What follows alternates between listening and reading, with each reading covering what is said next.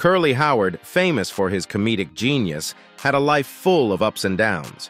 From his rise to Hollywood fame to his tragic demise, his story is both captivating and inspiring. But what's behind the laughter and slapstick comedy? Let's uncover the real story of this beloved Three Stooges icon.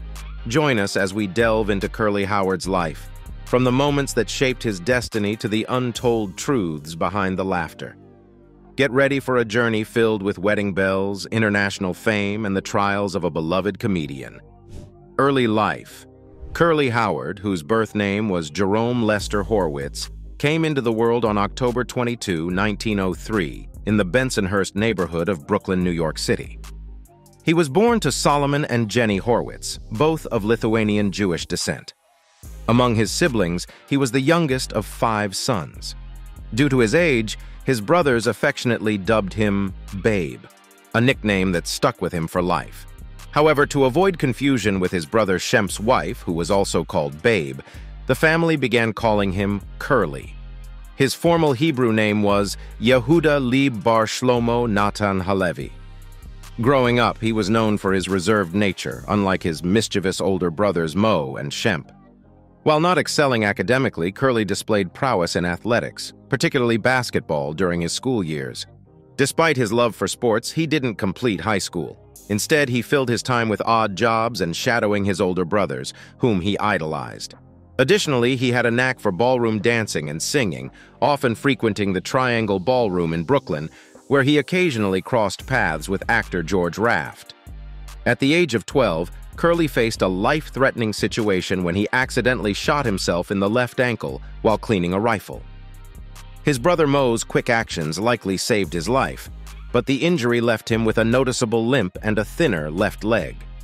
Despite the potential for corrective surgery, he harbored a deep fear of going under the knife, choosing instead to live with the consequences. To conceal his limp, he developed the exaggerated walk that would become one of his trademark characteristics on screen during his time with the Stooges.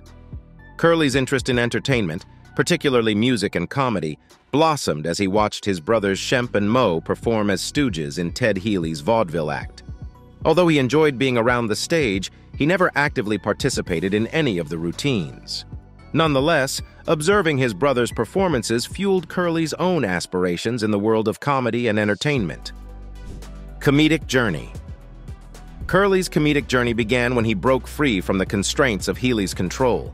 As he gained independence, his unique comedic genius began to shine brightly. He unleashed a torrent of physical comedy, becoming a powerhouse of slapstick humor.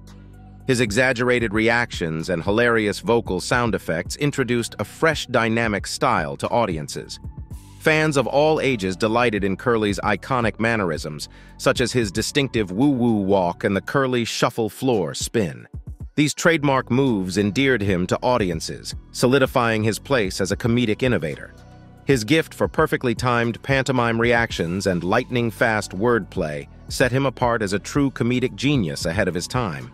By the late 1930s, Curly had practically trademarked his lexicon of hilarious nonsense expressions, Phrases like, I'm a victim of circumstance, and his unique pronunciation of words like solely became beloved elements of his comedic style. He had transformed from a shy babe into a true superstar, widely recognized as the most popular of the Stooges during their prime years. Despite his rising popularity, Curly faced personal struggles and grueling schedules demanded by the Stooges' success. Nevertheless, his childlike enthusiasm and boundless energy endeared him to audiences, particularly children. Directors recognized his exceptional comedic skills, often allowing him to improvise freely during scenes. As the Stooges reached their peak in the late 1930s, Curly's performances became central to their films. Classics such as A Plumbing We Will Go, We Want Our Mummy, and An Ache in Every Steak showcased his ability to turn ordinary objects into ingenious comic props. Even in the most violent short They Stooge to Conga, his comedic brilliance shone through. Curly's improvisational talents were legendary, with Moe Howard recalling how Curly's forgetfulness led to spontaneous moments that kept scenes rolling smoothly. Despite occasional challenges, Curly's Brooklyn accented reactions and expressions became iconic, influencing his fellow stooges for years to come. However, tensions arose when Moe suspected rising star Lou Costello of copying Curly's routines.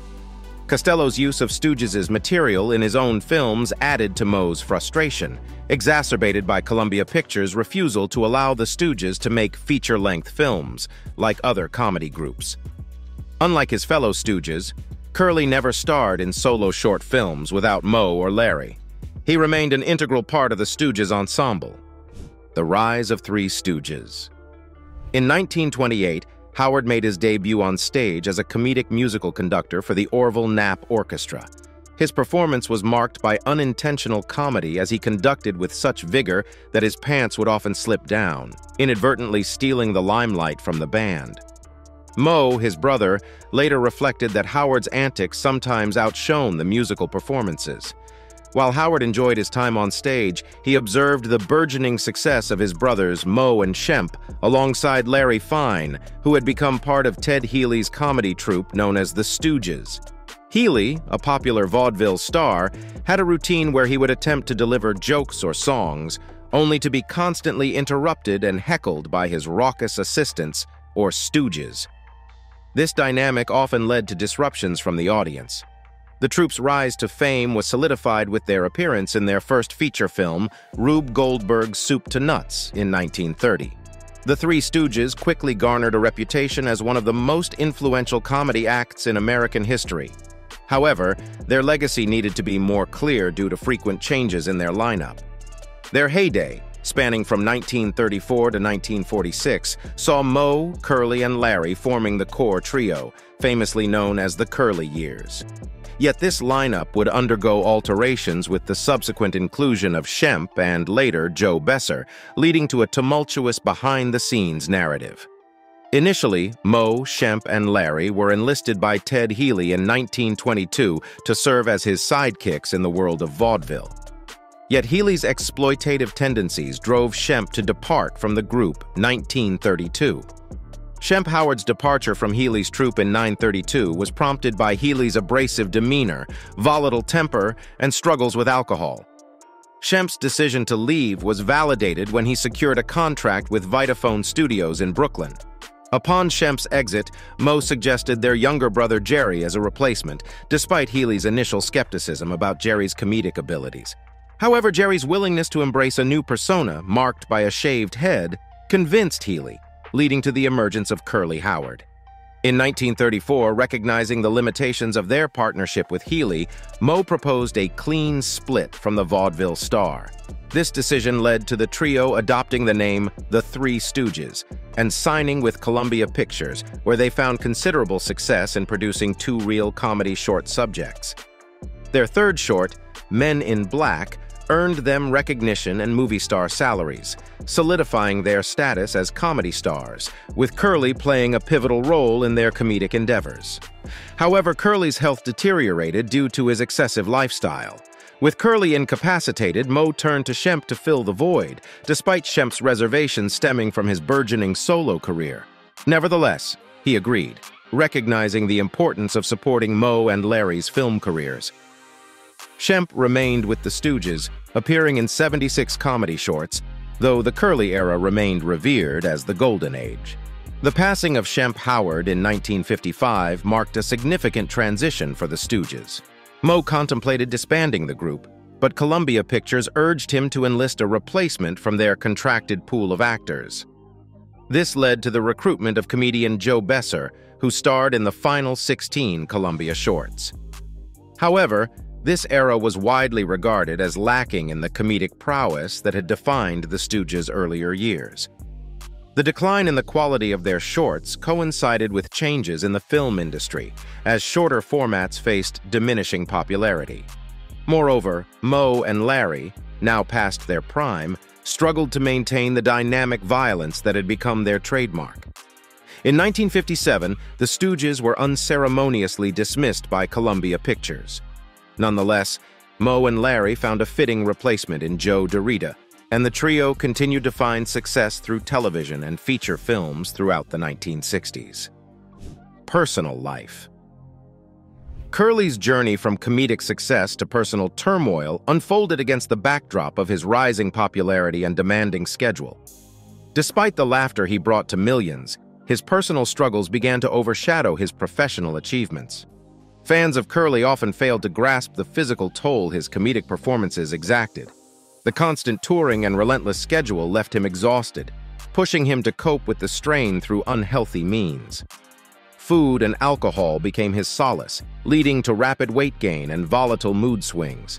These choices took a toll on his health, straining his heart and elevating his blood pressure to dangerous levels. Behind the scenes, Curly battled deep-seated insecurities about his appearance and relationships. Despite being adored by legions of female fans, he harbored worries about his perceived unattractiveness, exacerbated by his shaved bald head, a trademark of his stooge persona.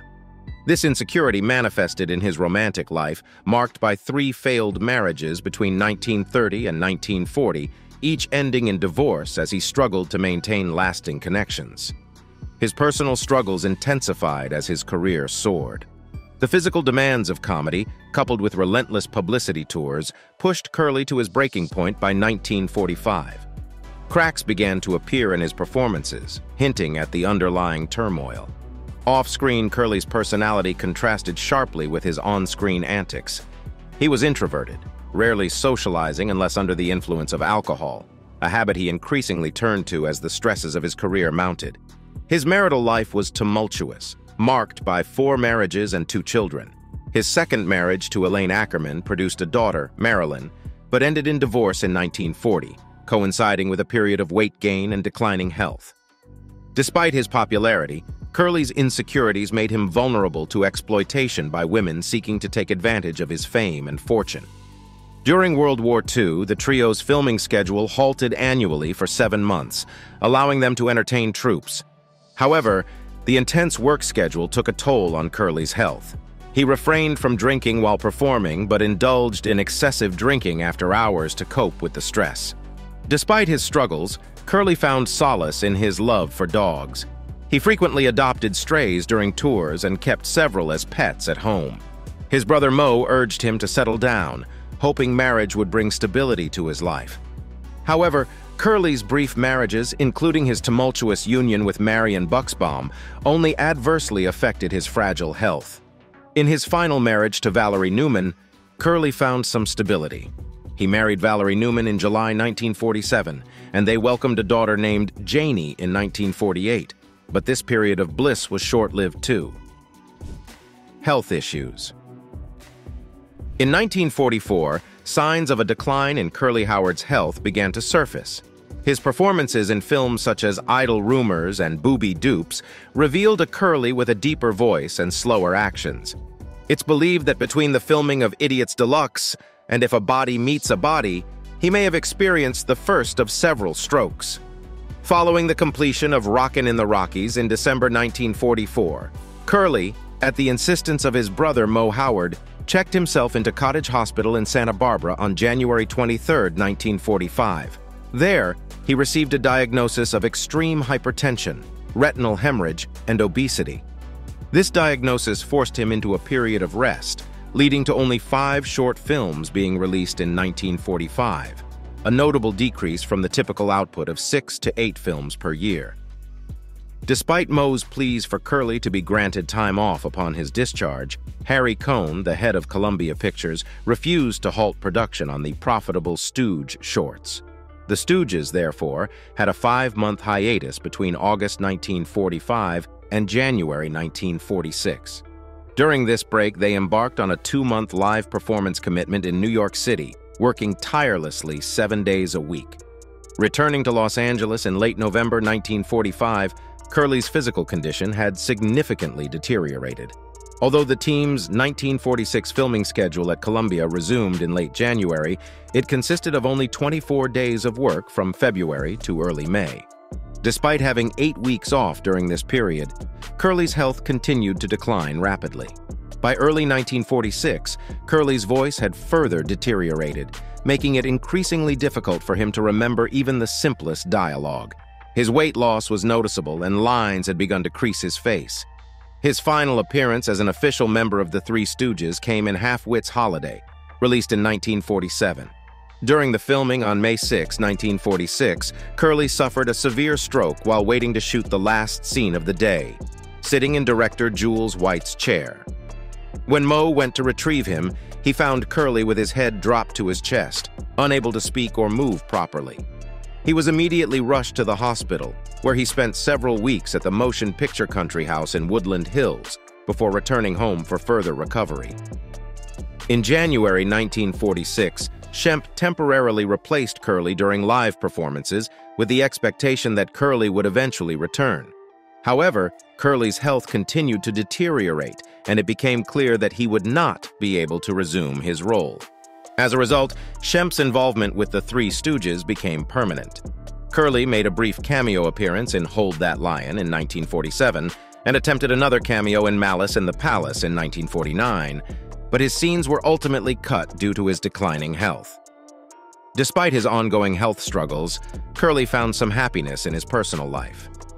However, Curly's condition continued to worsen, culminating in a second massive stroke later in 1948, which left him partially paralyzed. He began using a wheelchair by 1950 and was admitted to the Motion Picture and Television Fund's Country House and Hospital for treatment. Though he was released after several months, he returned periodically. In February 1951, Curly was admitted to a nursing home where he suffered another stroke in March. By April, he had relocated to the North Hollywood Hospital and Sanitarium, where he spent his remaining days. The Decline The Decline of Curly Howard, a cherished comedian renowned for his vibrant performances as part of the Three Stooges, traces back to his terrible health, which tragically culminated in his premature passing at the age of 48. Initially, as Curly's health faltered, his brothers devised a strategy to repurpose old vaudeville material to sustain Curly's income. Despite their best efforts, Curly's health continued to deteriorate. In a bid to salvage his career, Curly persevered, but successive severe strokes left him in need of prolonged hospitalization and convalescent care. Once celebrated for his lively and dynamic acts that enthralled audiences both on stage and screen, Curly found himself grappling to articulate even the simplest of needs to his distraught wife as his health declined. By February, he was confined to the hospital, grappling with severe pneumonia and infections stemming from bed sores aggravated by his immobility. His weight plummeted due to inadequate nourishment, and he drifted in and out of consciousness sporadically. Despite earnest attempts to stabilize his condition, by April, hope began to dwindle as Curly lay motionless, ensnared in a near immobile state, enduring a cruel fate after years of bringing boundless laughter and delight to countless fans. In December 1951, as Curly's health continued to deteriorate, suggestions were mooted for Curly to be transferred to a mental institution, but Moe, unwavering in his dedication to his brother's well-being, balked at the idea. Consequently, Curly was relocated to the Baldy View Sanitarium in San Gabriel, California. Despite his brother's tireless efforts to ensure his comfort, Curly's condition deteriorated further, prompting Moe's summoning from a Columbia film set on January 7, 1952, to assist with Curly's final relocation. However, their endeavors proved futile, and Curly succumbed just 11 days later. On January 18, 1952, surrounded by his beloved wife Valerie and faithful dogs, Curly Howard passed away, his body succumbing to the immense health tribulations he had endured over the preceding decade. His death was officially attributed to a massive cerebral hemorrhage. Curly's demise marked the conclusion of an era for comedy, leaving behind a legacy permeated with laughter and joy. The news of Curly's passing reverberated through the comedy community, eliciting an outpouring of tributes commemorating his pioneering contributions to physical comedy and his unparalleled ability to evoke joy in millions. Nevertheless, as the adage goes, the show must go on. Curly's surviving Stooge brothers, Moe and Larry, alongside Shemp, who reluctantly stepped in as Curly's immediate replacement, endeavored to soldier on without their vivacious counterpart. However, despite their valiant efforts, an undeniable void persisted. While Shemp possessed talent in his own right, he lacked Curly's infectious high energy and childlike exuberance. The once seamless chemistry between the trio was conspicuously absent without Curly's electrifying presence on screen. In adherence to Jewish customs, Curly was accorded a funeral and laid to rest in the Western Jewish Institute section of the Home of Peace Cemetery in East Los Angeles, California. His passing left an indelible void in the hearts of fans and colleagues, signifying the end of an epic in comedy while leaving behind a legacy destined to endure for generations. Legacy Curly Howard, widely celebrated for his comedic genius, left an indelible mark on the entertainment industry despite his untimely demise. Over time, historians have come to recognize him as a pioneer in the realm of comedy, acknowledging his fearlessness in physical humor and his impeccable sense of comedic timing. His influence extended far beyond his tenure with the legendary Three Stooges, inspiring a plethora of comedians who followed in his footsteps, including the likes of Robin Williams and Jim Carrey. Initially met with skepticism by studio executives, the enduring popularity of the Three Stooges quickly dispelled any doubts about their comedic appeal. Curly, in particular, emerged as a beloved figure, captivating audiences across generations. This resurgence of interest in the Stooges' timeless antics led to the establishment of memorabilia conventions and scholarly studies dedicated to analyzing Curly's profound impact on the evolution of comedy. Behind the scenes, Curly grappled with personal demons, including health issues and tumultuous relationships. Yet, he remained steadfast in his dedication to bringing laughter to audiences, even as his own well-being deteriorated. His unwavering commitment to his craft, despite facing numerous challenges, serves as a testament to his resilience and unwavering passion for comedy. His legacy extends far beyond the realm of entertainment. His deep love for animals remains a defining aspect of his enduring impact. Inspired by his compassionate nature towards stray animals, charitable organizations such as the Curly Howard Rescue Fund Trust and the Curly and His Dog Therapy Fund have been established to carry forward his legacy of kindness. These initiatives provide essential support and care for shelter dogs, as well as invaluable assistance for disabled veterans through therapy dog programs. His contributions to comedy and his unwavering humanitarian spirit ensure that his memory lives on. In a world where laughter is often the best remedy, Curly's enduring presence serves as a reminder of the transformative power of humor and compassion. As time passes, Curly's influence only seems to grow, with new generations discovering and appreciating his timeless humor. Through his remarkable talent and compassionate nature, Curly Howard has left an indelible imprint on the hearts and minds of people worldwide. His legacy serves as a beacon of joy and inspiration, reminding us of the enduring power of laughter and kindness in an ever-changing world. Thank you for watching and see you in the next video.